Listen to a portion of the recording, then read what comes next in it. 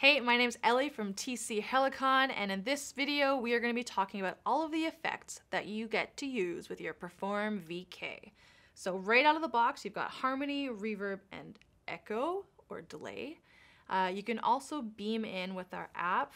Uh, there's UMod, megaphone, doubling, and hard tune. So there's lots of effects that you can use with this unit. So basically, you can edit and adjust the levels of these effects very simply. So let's start with echo. Hold it down, and now you're in the edit menu. It times out pretty quickly, but basically all of these colors represent a different echo style. So the first one that we have is this dark blue color, and it's a slap delay. Hey, hey, check, check.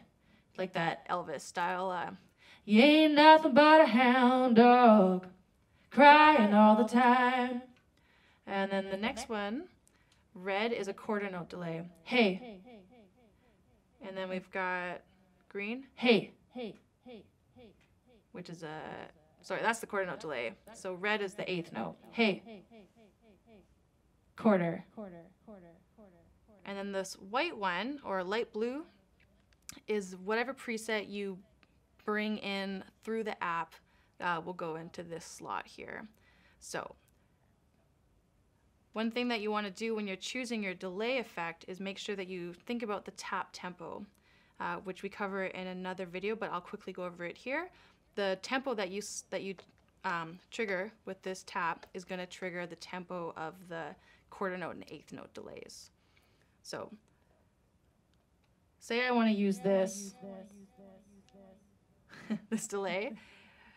You can adjust the level. Um, by uh, extending the LEDs. So a couple of LEDs is not very much level versus all of them filled out is a lot of level. So you can hear the comparison. Check. Very subtle. Check. Check. Check. Check. It's almost as loud as my lead voice. So you can do that with the echo. Reverb. Same thing. Hold it down. We've got uh, blue, which is a short reverb. That's our first one. And again, if you want to adjust the level, have a subtle blue short reverb here, bring it louder. It's way more um, uh, forward in the mix.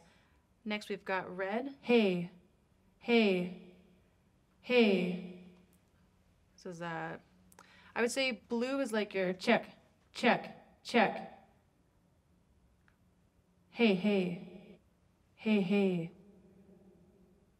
So yeah, green, blue is your room, red is your club reverb, just a little bit more bouncy, and then green is your like cathedral reverb.